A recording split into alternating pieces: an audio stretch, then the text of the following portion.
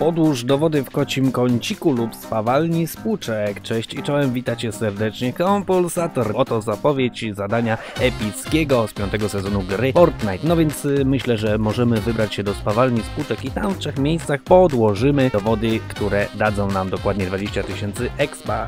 E, Zrobimy to bardzo szybko, dosłownie kilkanaście sekund. Także lecimy.